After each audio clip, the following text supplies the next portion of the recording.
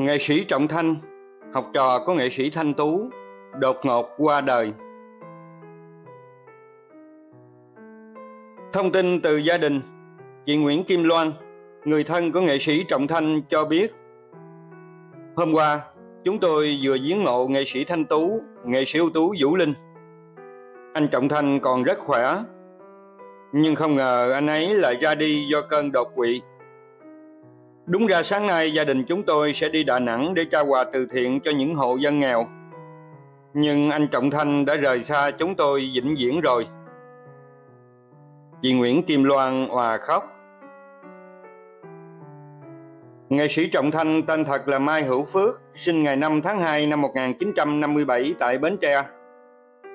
Ông trút hơi thở cuối cùng lúc 1 giờ ngày 10 tháng 7 tại nhà riêng do đột quỵ. Thọ 67 tuổi. Nghệ sĩ Trọng Thanh là cán bộ phòng văn hóa thông tin huyện Châu Thành.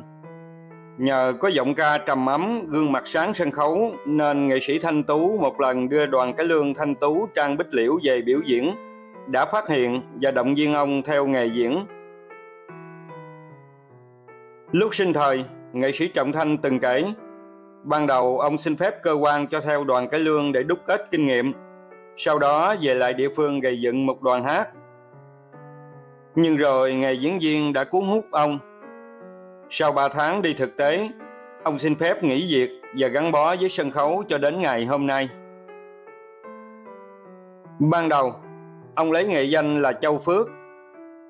Sau đó khi về diễn tại đoàn cái lương Cà Mau, ông được nghệ sĩ ưu tú Minh Sang đổi nghệ danh là Trọng Thanh. Trong sự nghiệp nghệ thuật, nghệ sĩ Trọng Thanh đã diễn nhiều thể loại vai Ông được khán giả yêu mến qua nhiều vở Mái tóc người vợ trẻ, Giọt máu quan cừu, Bạch viên tôn cát, Tình sử Dương Quý Phi, Sự án Phi Giao, Quyền trân công chúa Qua cầu Thiên Mã. Một thời gian dài, Nghệ sĩ Trọng Thanh gắn bó với nhóm nghệ sĩ ưu tú Vũ Luân, Có cộng tác ngoại vụ và giúp đoàn xã hội hóa hoạt động thành công trở thành đơn vị nghệ thuật tuồng cổ đầu tiên hoạt động dưới hình thức xã hội hóa. Nghệ sĩ Trọng Thanh còn tích cực tham gia biểu diễn trong chương trình Làng điệu phương Nam do Trung tâm Tổ chức Biểu diễn và Điện ảnh thành phố thực hiện suốt 4 năm. Biểu diễn phục vụ khán giả miễn phí vào ngày 4 hàng tháng tại nhà hát thành phố. Chị Nguyễn Kim Loan đã khóc thật nhiều Chị gần như là người thân sát cánh bên nghệ sĩ Trọng Thanh suốt 12 năm qua. Anh ấy sống chân thành, hiền lành, không bao giờ làm phiền ai. Anh ấy cũng không có vợ con. Hiện có ba người em ở Đức Hòa, Long An mà chúng tôi không liên lạc được. Vì từ khi rời gia đình theo nghề hát, khi ba má anh qua đời, anh chọn sân khấu là nhà, nghệ sĩ là người thân ít có dịp liên lạc với các em. Tôi mong qua tâm sự này, các em của anh sẽ đến thắp hương tiễn biệt người anh đã trót trao trái tim và niềm đam mê cho sân khấu. Chị Nguyễn Kim Loan nói,